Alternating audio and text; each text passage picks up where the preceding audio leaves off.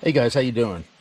So we got a scan tool review today. Uh, Xtool sent over their D5S scanner, and this is a budget-friendly scan tool. And uh, we're going to take this thing out of the box. We're going to take a look at it and see what it'll do. Of course, you got your instruction manual there, and then you've got the actual scanner here. Good-looking little scanner. Does not have a camera or a kickstand. And then what you've got up here on top is you got USB-C connector uh, for charging and for connecting to your computer. You got expanded storage slot for a SD card. This is not a Bluetooth uh, scanner, so you do have a, a OBD cord that's going to connect here to the serial port. Then, of course, your on-off button. It does come with a uh, USB-C cable. So let's turn this on. I'll read you off the specs, and then we're going to connect it up to a car.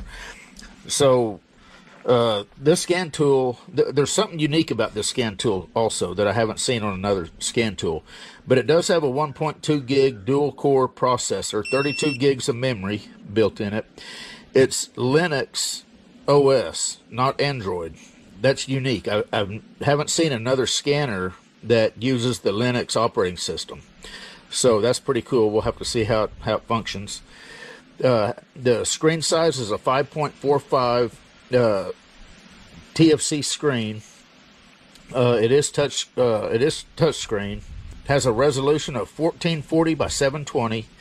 It's a four system scan tool. So what it scans is your engine control module, your transmission control module, your ABS, and I believe your airbag module has 15 plus resets or special functions. We'll take a look at them. Uh, does auto ID the car. Uh, something else that's unique about this scan tool is it is FCA compatible. So if you have a uh, Dodge or Chrysler or Fiat vehicle that's 2018 or newer, you'll be able to register this tool on the AutoAuth website and be able to connect up to those newer Chrysler vehicles. Uh, it has a 3150 milliamp uh, built-in battery. It is CAN FD compatible, has 4-in-1 graphing, and free lifetime updates. So let's now this does not have screen recording. So I'm going to have to just hold the camera on the screen. Hopefully you're going to be able to see everything okay. Uh, I'm going to get the uh, cord connected to it, and we're going to get it in a car, and we're going to take a look at it. One thing I like about it is the cord is nice and long. Probably at least a five foot cord. The nice thing about these small scan tools like this is you can keep these in like your glove box or your console. That you'll be able to uh, reset your codes, uh, do a, a, few special functions if you need to, and uh, have some nice live data. All right, guys. Now, like I said, uh, this does not have screen recording, so we're just going to have to uh, get through it the best we can. So I'm just going to hit auto ID or auto scan. Diagnosis button would be where you would uh, manually put in your car, the year, make, and model. Now this is the first time I've used it, so it is doing a firmware upgrade.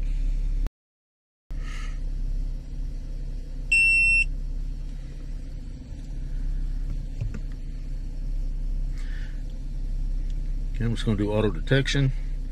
And it is a 2013 Camaro.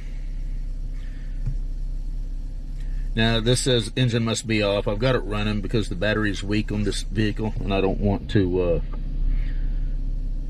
um, run the battery down. So there's the four modules. I mean, that was a nice quick scan. And looks like you can do a report, uh, pause, DTC report, clear all DTCs. Uh, let's do What's the report show? Okay. Let's go ahead and go into the ECM. We'll do automatic. And let's see. DTC display, diagnostic. Okay, so what do we got here? Remote vehicle speed, limiting signal message, counter incorrect. remote vehicle speed limiting signal. Hmm. I have no idea what that means. I'll have to do a little research to find out what that is. Uh, okay, let's go back. Of course, you can clear DTCs. Let's take a look at live data. We'll just do engine data.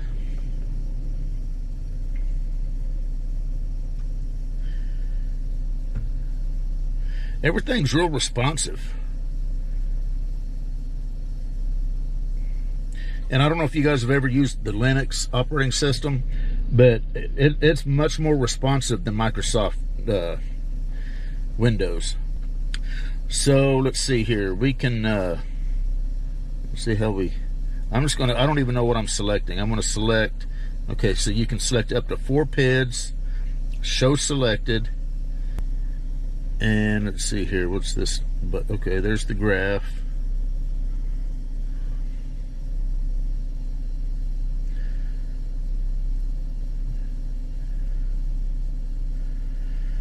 Okay, what if, let's see. Yep. So you can do an individual graph, like I'm doing here. Rev the engine up a little bit, see if we can get some movement out of that. Looks like it's doing real good on as far as how fast and responsive it, it is. It's, in, it's instantaneous graphing. Have no idea what this is. Fuel pressure regulator. I got a little movement out of that one. Like I said, I did not pay attention to uh, what I was picking. I just picked them. And there's no graph fuel pump enable command. There's not going to be any graphing on that. So the graphing looks like it works great. And like I say, it'll overlay. And, you know, up here it shows you what colors are, or what. Rev the engine up a little bit, show you what it looks like when it's So the graphing's real responsive, looks good, different colors. So you can kind of keep them uh, isolated. Uh, secondary air injection data, that's all the different, that's GM puts these pre-selected uh, data PIDs, which is kind of nice. It, it, it kind of saves you some time from having to manually pick them out. Uh, we got, we did live data, you got freeze frame uh, data, read ECU information. That's always good if you're wanting to get part numbers and stuff from the ECU. Let's take a look here, yeah? So there's the part number and software part numbers.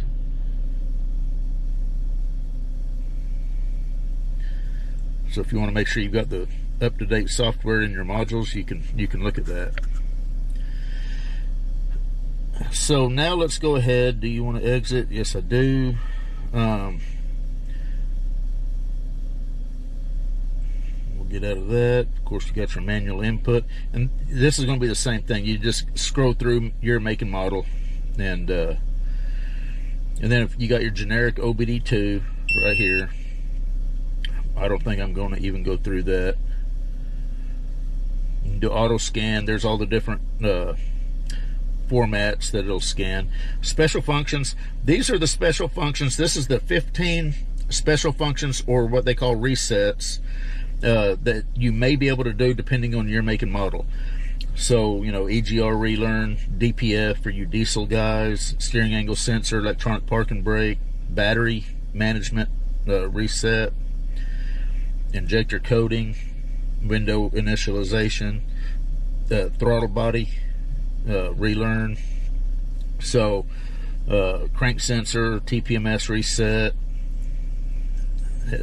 headlight maintenance light reset. So a nice little scan tool. Uh, this is sub $200. I saw it for about $170.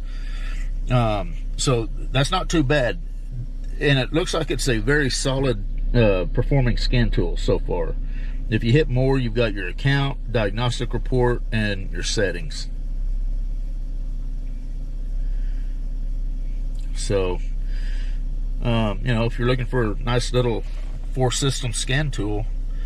This is uh, this looks like it's a very nice, very nice little unit.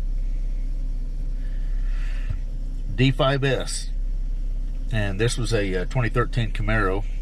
Anyway, we're pretty much done. This looks like a nice little scan tool if you're in the market for one.